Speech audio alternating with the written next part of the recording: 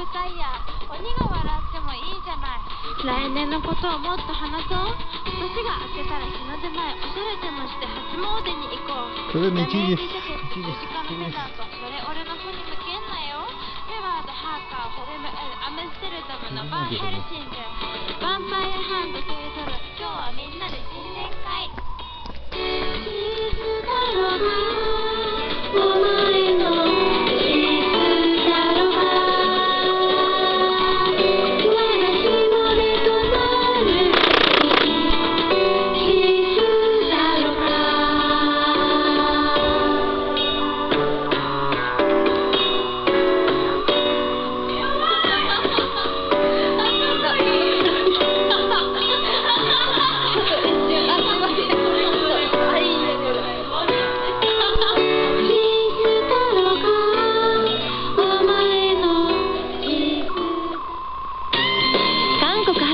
世界でおよそ970万人を魅了したエンターテインメント。ランタ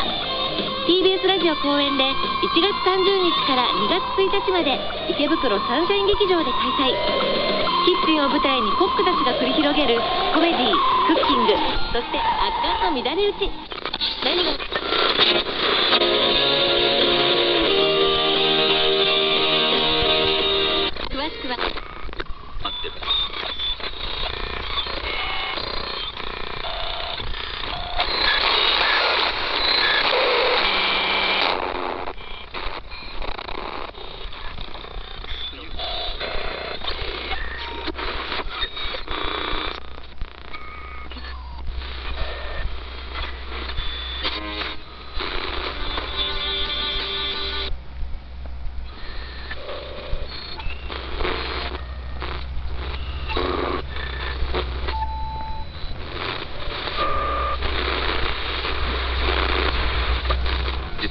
長野県北部を震源とする地震があり長野県の長野市と小谷村それに激しい揺れを観測しました。この地震の後長野県北部を震源とする余震が相次いでいて気象庁は今後1週間程度は震度5強程度の揺れを伴う余震が起きる恐れがあるとして警戒を呼びかけています。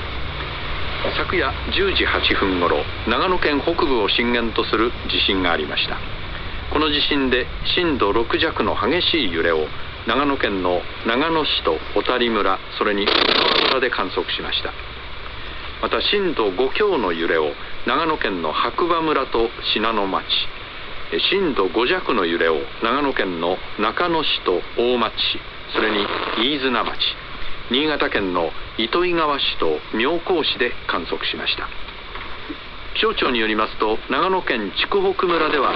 震度の情報が入っていませんが震度5弱の揺れだったとみられるという。こ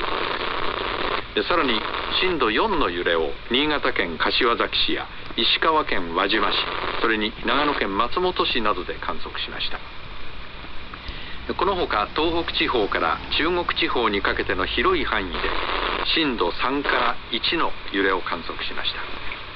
気象庁の観測によりますと震源地は北部で震源の深さは10キロ地震の規模はマグニチュード6.8とまたこの地震の後長野県北部を震源とする余震が相次いでいてこのうち昨夜10時37分頃に起きた地震。長野県小谷村で震度5弱の揺れを観測しました。気象庁は揺れの強かった地域では家屋の被害や土砂災害の危険性が高まっている恐れがあり今後1週間程度は震度5強程度の揺れを伴う余震が起きる恐れがあり揺れが強かった地域では警戒してほしい。と話しています今回の地震について気象庁の長谷川洋平地震津波監視課長は午前0時から記者会見しました。長谷川課長は揺れの強かった地域では家屋への被害や土砂災害の危険性が高まっている恐れがある。今回の地震の後余震が相次いでいて昨夜10時37分頃には長野県小谷村で震度5弱の揺れを観測する余震が起きるなど昨夜11時半までに震度1以上の揺れを観測する余震が21回起きています今後1週間程度は震度5強程度の余震が起きる恐れがあり揺れの強かった地域では警戒してほしいと呼びかけました。また長野県北部では今月18日以降体に感じない地震を含めておよそ50回の地震が発生していたということで長谷川課長は今回の地震の前震の可能性がありデータを詳しく検証したいと話しています。で NHK が午前1時現在でまとめたところによりますと長野市や長野県の大町市などで合わせて13人が怪我をしたということです。震度6弱を観測した長野市の消防局によりますと71歳の男性が倒れたタンスの下敷きになるなど合わせて8人が怪我をして病院に搬送されたということです。また震度5弱を観測した長野県大町市によりますと2人が捻挫などの怪我をして市内の病院で手当てを受けたということです。また震度5強を観測した長野県白馬村では上城地区で住宅5棟が全壊し警察によりますと住民が一時閉じ込められるなどしました。21人の住民全員が救助されるなどしたということです。このうち2人が怪我をしていて他にも怪我をしている人がいない。また震度5弱を観測した。68歳の男性が避難のために額に軽い怪我をした。また長野県内の複数の自治体で住宅の塀が崩れた。り